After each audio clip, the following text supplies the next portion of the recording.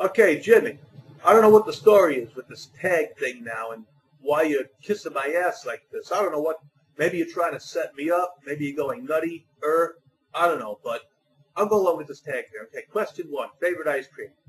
I don't have a favorite. I eat vanilla, pistachio, peach. It doesn't matter. Well, I don't have a favorite. Okay. Biggest celebrity ever met? I don't remember. I don't. I met a few politicians, a few actors. Uh, I saw a couple of big shots at uh, at the last YouTube gathering. Not the day you went. The day I went with Suzannah B. Troy at, on the 11th, I think. Okay. So, uh, my favorite comedian.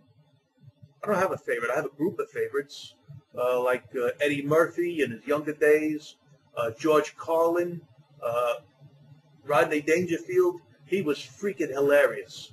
Okay. My favorite outdoor activities. That would be exposing myself at bus stops. Um, and what would I do if I won a million dollars?